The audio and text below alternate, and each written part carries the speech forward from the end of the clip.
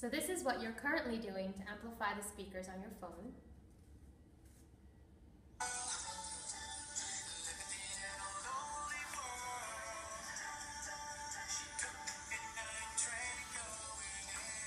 And this is what you could be doing